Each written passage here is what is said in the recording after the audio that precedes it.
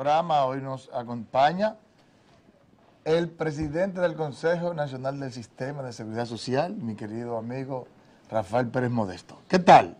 Hola, muy buenos días. Contento días, de, Rafa. de, compartir con ustedes.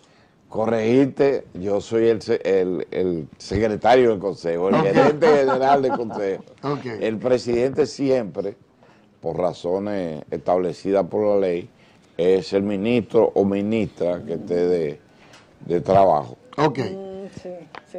Yo quiero tratar de manera muy particular el tema de la reforma, la propuesta de reforma de la ley, en el que ya incluso ustedes están incluidos en el, en el, en el proceso de discusión, por el hecho de que se, se percibe, especialmente después de lo que está pasando en Chile, que el modelo no asegura una pensión de calidad, una salud de calidad y que los beneficios no están adecuadamente distribuidos. Se habla de que el sector empresarial está recibiendo grandes beneficios y al trabajador se le está dejando una migaja. ¿Qué tanto así que implica esta modificación? Bien, para mí es un gran placer poder compartir con ustedes. Ya veo que te llegó a tiempo, Claro. como debe ser. Así es. Entonces le voy a dar a Mónica un ejemplar de esta última revista, salió recientemente la semana La pasada. vamos a desmenuzar. El Consejo Nacional de Seguridad Social informa, donde ese tema ocupa un lugar, un Así sitial es. importante eh, dentro de la temática de la seguridad social. ¿Por qué la modificación de la ley? En República Dominicana iniciamos el proceso de seguridad social sin experiencia vivida, con un retraso de 75, 50, 100 años con respecto a otros países Respecto a Europa y con América Latina. y. América Latina. eh, Ya hay instituciones iberoamericanas que cumplen ahora 75 años, otra que tiene 50 años, de los cuales nosotros somos miembros. Y han acumulado un sinnúmero de experiencias positivas y negativas. La República Dominicana tuvo entonces, dio un paso importante, que es la incorporación a la seguridad social. Eso se ha revertido en muchos logros que podemos destacar y que podríamos señalar a grandes rasgos. Hemos avanzado extraordinariamente en, la, en el proceso de universalidad, que es el objetivo supremo de la, de la ley. ¿Qué, qué se ha logrado en eso? Bueno, hemos logrado, si tú ves las estadísticas que aportamos, que de una arrancada, porque la ley se estableció, se promulgó en el año 2001, pero entró en vigencia en el 2003, Sí. el régimen contributivo entró en el 2007, es decir que, porque la gente dice, si de 2001 al 2017, 16 años, y son pocos los, objetivos, no, nosotros hemos logrado en una forma sostenida un incremento que nos lleva a una cobertura que era la meta de un 70% de logro en forma sostenida. Yo diría, don Rafa, que la seguridad social, y eso lo he dicho siempre en todos mis programas, es el logro más importante que ha alcanzado la República Dominicana. Que no hayamos caminado quizás a- eh, al, al paso que hubiéramos querido, siempre pasa y eso. que, y que haya nuevos objetivos, porque hoy ustedes han dado un paso extraordinario. Claro. Yo, eh, como amigo de ustedes y como eh, elemento visitante de este canal Se da cuenta el periódicamente, cambio. el cambio que han tenido, sin embargo, si tú te pones a analizar hoy, tú dices, bueno, nosotros podemos mejorar en esto, en esto, en esto y aquello. Entonces, eh, debemos, ser, debemos ser insaciables en el progreso, en el avance, en la mejora. Entonces, justo iba a eso. Es decir, la seguridad social ha acumulado ya experiencias suficientes en República Dominicana, positivas y otras no alcanzables y otras negativas, que hay que poner sobre el tapete en base a nuestro propio criterio y experiencia acumulada, Ya nuestro propio no dependiendo De lo que de nos lo que digan. pasó en otro país. Ahora, sin embargo, porque nosotros quiero- copiamos. Yo quiero Mónica. referirme a eso, don Rafa. Eh, Vemos el ejemplo de Chile, que hay protestas, en, que, y mencionamos Chile porque fue la pionera en seguridad social en la América Latina, No, porque fue, tuvo el boom. fue el ejemplo que Eh, tomamos en términos de, prestaciones. Y fueron los Chicago Boys que dominaron durante la transición en Chile quienes hablaron y, y diseñaron toda esta estrategia de invertir en, en- en firmas privadas, vamos a decir, lo que era la seguridad social y dio muy buen resultado, porque dio excelentes resultados. Creo que en el 2015 ya se habían 1.600 millones de dólares en la seguridad social. Sin embargo, a partir de ahí, yo pienso que las devaluaciones han sido las que han influido tan negativamente en esto de las pensiones que los trabajadores de Chile dicen que están recibiendo al retirarse menos de un sueldo mínimo. Entonces ellos incluso están abogando porque vuelvan a la, a la si forma fuera estatal. solo menos, es que la proporción no guarda relación con lo que han aportado en su trabajo. Pero, ¿y entonces qué van a hacer? ¿Qué van- bueno, entonces nosotros tenemos esa ventaja. Es una ventaja porque aquí el régimen, ah, decía, el régimen contributivo inició en el 2007 en términos de salud, pero la acumulación de dinero inició en el 2003. Entonces ya hoy en día eh, cerca del 15% del Producto Interno Bruto está en una cuenta. Eh, que se maneja de manera pulcra, transparente, para hacer la inversión de vida en el momento que el grueso de la población acumule la edad suficiente y los años de inversión que requiere la seguridad social. Entonces nosotros tenemos tiempo más que suficiente en términos de ley, en términos de ajuste, para cuando la gente se retire tenga una pensión digna.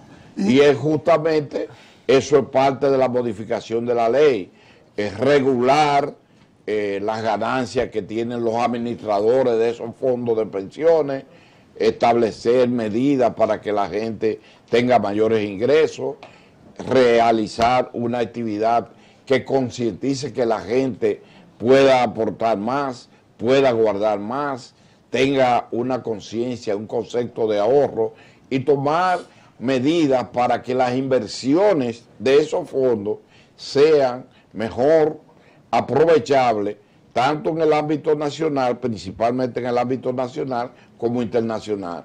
No basta que haya certificados ¿no? financieros, que haya aportaciones en Hacienda, en el Banco Central.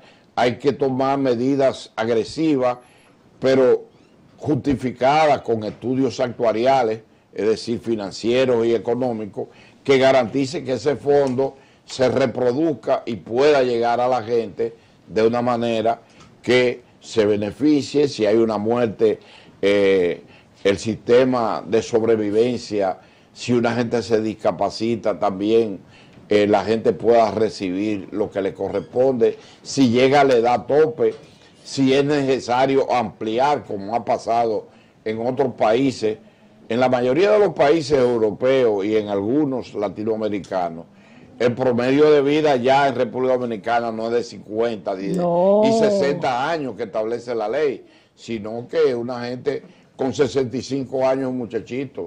Ves, Rafa, a mí me ha preocupado bastante lo que ha salido en la prensa sobre de que en enero y febrero los aportes por seguridad social han bajado en 2.6% respecto a los mismos meses en el año pasado. ¿Eso quiere decir entonces que hay menos empleo?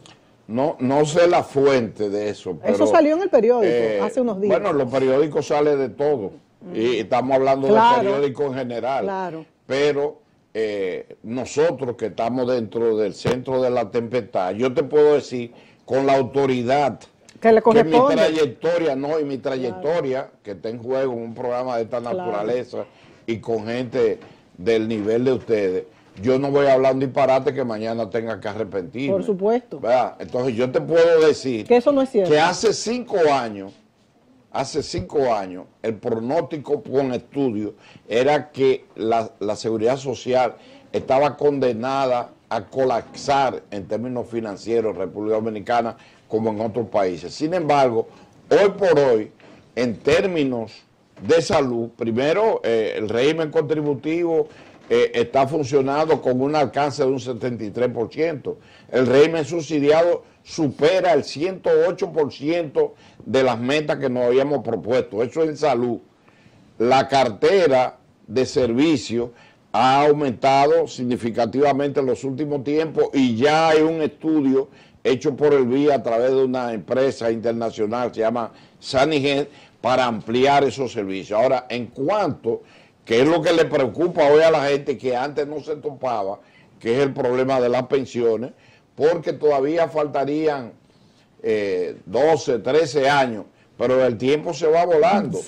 lamentablemente. El tiempo va volando. ¿Cuántos años tienes tú de ejercicio? yo te conocí, era un muchachito. Y yo me Él nada más tiene la carita de jovencito. es decir, que tú eres un niño. Entonces, eh, en 12 años se va volando. Entonces, en términos que antes no era una preocupación, hoy las pensiones son una preocupación para un hombre joven como tú. Un muchacho de hace 15 años atrás. ¿verdad? Entonces tú tienes que pensar, cuando llegue a los 70 años, ¿qué me va a garantizar a mí que yo mantenga el estándar de vida capaz, no ya de sostener tus hijos, sino de tú vivir tranquilamente, eh, cubriendo tu medicina, tu paseo, las atenciones a tu familia. Entonces, en eso es que estamos. Y el régimen garantiza en salud un superávit mes por mes, porque nosotros manejamos con un superávit de más de 6 mil millones de pesos en términos de salud, pero en términos, en términos de pensiones hay, un, hay una acumulación de cerca de 450 mil millones de pesos dominicanos en un país que podemos decir, gracias a Dios, que se ha llevado una política económica adecuada, que con un índice eh, inflacionario bajísimo, gracias a la política, porque la, seguridad social no está ajena a la política. Por supuesto. Está el gobierno como garante principal, los eh, empresarios que aportan eh, un 70% de los trabajadores que son privados y los trabajadores que aportan alrededor de un 3%. El gobierno cubre el régimen subsidiado, cubre el régimen contributivo en lo que es salud y lo que es riesgo laboral y lo que es también pensiones y por consiguiente hay un superávit y ese dinero, eh, hay tranquilidad, nadie en este país, a menos que no sean gente, bueno, que puedan decir en un medio que eso no se está manejando con transparencia, porque aquí se, hay libertad para decir todo, hasta la mentira. Entonces, realmente la seguridad social marcha bien, pero debe marchar mejor y debe acercarse. Bueno, la meta ya logramos un 70%, la próxima meta, porque tenemos un plan estratégico definido, uno de los grandes logros en esta gestión, un plan estratégico de los cinco años, se terminará en el año 2018-19, eh, nosotros llegaremos a un 90% que pocos países en términos de salud lo han logrado y que Relativamente rápido. Se cubre un 100% los accidentes de tránsito que antes no, eran cubiertos. Ahorita eh, pasó un programa que con un paso de avance en ese sentido y nosotros contribuimos mediante un estudio que realizamos, se lo aportamos a Tobías. Y que Senasa cubre un millón de pesos en, en gran Senasa no, todas las ARS, todas las ARS con disposición del Consejo. Del o sea, el básico, sí. Cubre, cubre hasta un millón de pesos en cada uno de los procesos, porque se comenzó con 150 mil, se subió a 300, a 500 mil y ahora es un millón por proceso. Es decir, que si una gente. Se enferma del corazón, es distinto así se. A, renal, es diferente a, otro tipo. Esto es un sueño eh, para la República Dominicana. Eh, eh, usted ahorita mencionó los fondos de pensiones están adecuadamente manejados, pero quizás no están teniendo la rentabilidad que, deberían. Están en certificados de participación del Banco Central, en la banca. Y sin embargo, en otros países incluso Chile, se han utilizado como un instrumento de desarrollo para hacer inversiones productivas inversiones de capital, que han contribuido a aumentar la capacidad de crecimiento económico de ese país y también han aumentado la rentabilidad de esos fondos. Eso no es un vacío que tiene la ley que debería, debería de revisar. No, ¿Y por qué es que eso causa terror, eso que dice el mundo, don Rafa? Eh, no, no, eh, es una combinación de factores. Ustedes hacen una combinación muy, muy equilibrada y, y se complementan. Eso me gusta Qué sobremanera. bueno. Mira, eh, se han administrado bien los fondos, eso lo admite todo el mundo. Hay eh, una inversión que es adecuada con un porcentaje que está por encima del promedio. Eh, yo acabo de venir de un evento internacional donde muchas veces aquí tú encuentras candela recibiendo la seguridad social, un engaño, esto, lo otro. Pero a nivel internacional, el modelo de República Dominicana, nosotros somos invitados y vienen muchas instituciones internacionales a conocer la experiencia de aquí. Son pocos los países o ninguno que tiene una dirección de información y defensa de los afiliados. Eh, lo- las- los sometimientos son por millones en países desarrollados como esos que estamos hablando, Colombia, Chile, Argentina, Costa Rica, eh, Brasil, Co- eh, Panamá. Aquí en República Dominicana no, porque todo se hace dentro de la ley con reglamentos establecidos. Pero por otro lado, además de eso, es posible una combinación de, de- de las dos cosas. Primero, garantizar que los fondos eh, no vayan a, a ser invertidos. Aquí ha habido gente capaz de decir, El vamos, de, los trabajadores no va- fue que... vamos a utilizarlo. sí, Ese es va- el principal temor. Sí. Vamos a utilizarlo en la, en la agricultura, vamos a utilizarlo en, tal- en todo En las casas de los mismos, de los mismos trabajadores. eh, que se le ocurra.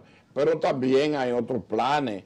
Vamos, el país está en un proceso de resolver el déficit habitacional.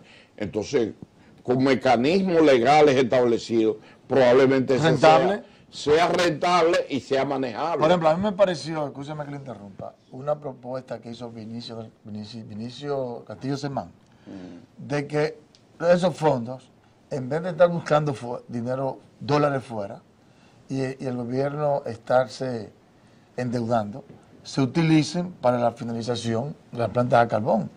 Porque se sabe que las plantas de carbón son Pero- altamente Rentables. rentables. Tú sabes que yo guardo amistad y respeto a cualquier líder de esa naturaleza, pero quizás no es resultado de un estudio.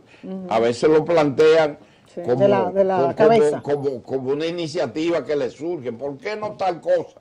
Pero eso amerita un estudio porque está en juego el futuro de la familia dominicana. Estamos hablando hoy de 10 millones, dentro de 5 años serían 12 millones y 15 es. millones en, en- en un Así es. tiempo más largo. Entonces tú no puedes jugar con eso. Tú tienes que, no digo que él está jugando, sino que tú tienes que hacer estudios que te estudio. garanticen que esos fondos se adecúen bien y eso es lo que está haciéndose con el estudio actual de la modificación de la ley. Hay una serie de aspectos que en términos de salud, que en términos de principalmente de riesgos laborales y de, y de pensiones, deben modularse de modo tal que nos garanticen más calidad, más cuantía, o sea, de universalidad, eh, más solidaridad, un proceso sostenido eh, de gradualidad y además de eso también una calidad en la vida de los dominicanos en la medida en que vamos tomando un camino de madurez. El adulta. mundo, yo no quisiera dejar ir a don Rafael Pérez Modesto sin preguntarle, y es una pregunta, no sé si será un poco conflictiva. Don Rafa, si se quejan los trabajadores de que no es, que no guarda el valor intrínseco, el dinero que ellos han ahorrado y no han crecido en lo suficiente, entonces, ¿por qué los, las AFP tienen unas ganancias tan grandes, es que realmente el trabajo de ellos, de la colocación de este dinero para su crecimiento, realmente amerita este, este porcentaje de ganancia o es muy alto. Yo quiero, yo quiero fortalecer esa pregunta de, de, Mónica. de Mónica leyendo esta parte de una denuncia que hace el diputado Ramón Cabrera. precisó que estas empresas tienen que explicarle a la población la tasa de reemplazo que utilizan, que es la proporción de la pensión que recibiría el afiliado con relación a su último sueldo. Afirmó que el Banco Mundial y el BID dicen que esa proporción ronda el 23.4% del último sueldo. Señaló que la Superintendencia de Pensiones en el boletín 2014 informó que ese porcentaje sería de 35% del último salario. Dice entonces preguntándose. Entonces, tienen que explicarle a la población qué sentido tiene estar en una AFP si el Estado te puede pensionar con un 60 o un 70%. El Estado actualmente pensiona alrededor con un 60% a aquellas personas que no habían entrado o que entraron a la seguridad social ya con, con una edad muy avanzada, en el viejo sistema de lo que era el IDSS. Pero el Estado no está en capacidad de poder eh, brindar una pensión a todos los dominicanos que llegan a edad adulta. Eso no, no es cierto. La inquietud de él es sana en el sentido y ha logrado poner sobre el tapete el tema de reducir. Se redujo no de los fondos que ellos manejan, porque las aseguradoras de fondos de pensión eh, manejan la cuenta de, de los beneficios, obtienen hasta un 30% establece la ley. Se ha ido reduciendo a 25 y por iniciativa de planteó que no llegara a un 15. Si llegamos a eso, ellos no se oponen. Eso es lo que hay que discutirlo, porque la seguridad social, y ese es un tema que yo pensé que íbamos a tratar, porque es un tema muy polémico, tú sabes que está fundamentada en un triángulo tripartito. La base, el gobierno central, que es el garante en definitiva, y que es el propiciador, no solo de la ley, sino de esos cambios, y es el máximo inversor, eh, inversor en la revista que ustedes tienen, están lo que son las inversiones del Estado, las inversiones de al sector privado, las inversiones de los trabajadores, que en definitiva son el objetivo.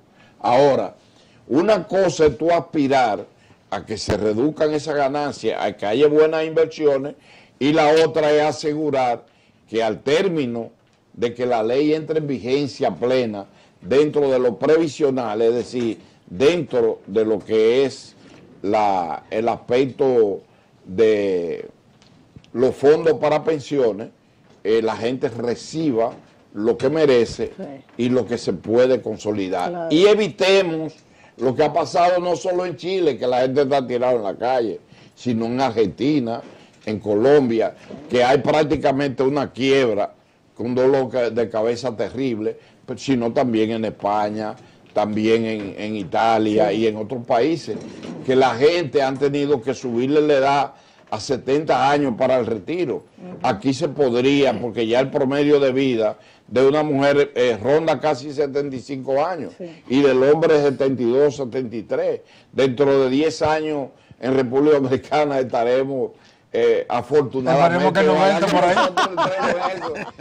de 80, 85 años y que recibamos los derechos. Aquí se han tomado muchas medidas para los asilos, para la gente envejeciente, para la gente que se accidenta, para la gente que se discapacita, pero siempre hay más, siempre es posible mejorar, siempre es posible aportar cosas nuevas que garanticen una calidad de vida mejor, una República Dominicana con un futuro mejor. Es indudable que la seguridad social es lo que garantiza un futuro mejor. Es una, pata muy importante de, esa mesa y se está trabajando. Qué bueno, don Rafael. vamos, eh, vamos a, cumplir próximamente un año más de existencia de la promulgación de la ley y nosotros tenemos en nuestro esquema una, eh, un canal que siempre ha sido un aporte a través de ustedes eh, para nuestro trabajo y un estímulo, porque donde quiera que nos encontramos, siempre ustedes están abiertos a que uno quiera como debe decir ser. cosas nuevas como debe y ser. ustedes a incrustarnos y a preguntarnos por qué no esto. Claro que sí. Usted sabe que siempre ha estado con nosotros. Eso es verdad. Gracias, Rafael, Rafael Pérez Modesto, secretario Secretario del Secretario Consejo Ejecutivo. gerente general. de la seguridad Bien. social. Ahora pasamos al estudio B con nuestro amigo, nuestro querido compañero Carlos. ¿Qué tal, Carlos?